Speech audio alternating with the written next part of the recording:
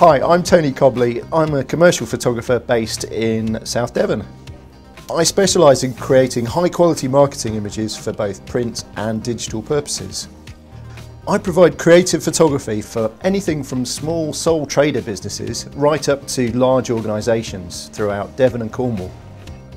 My purpose is to understand an organisation's brand values and convert these into engaging images, often working alongside creative agencies. I work across many different sectors with the common purpose of creating imagery to show the organisations at their very best. I do this by using top quality camera equipment and lighting, cutting edge post-production techniques, and this all results in images that create the right impression for that organisation. So, if you want a positive, friendly and enthusiastic photographer to help get your organisation noticed, then I'd love to help.